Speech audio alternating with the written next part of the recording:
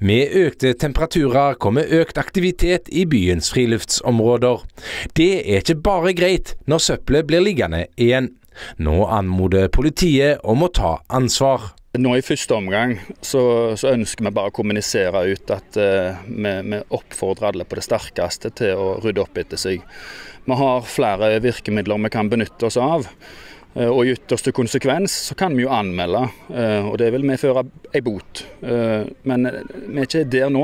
Vi ønsker bare at folk rydder opp etter seg og tar vare på dette flotte området som så mange er så glad i. De aller, aller, aller fleste er flinke, de rydder opp etter seg. Men så er det noen da som ødelegger for så mange. Og det er kanskje en av de vi henstiller mest til nå. At eh, alle må være greie og rydde opp etter seg. Det, det er viktig nå når sommeren er, er for dør og det fine været er her.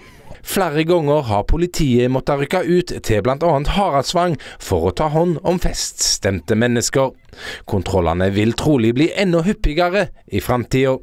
Ja, eh, dette er jo et område som vi vet blir benytta av mange.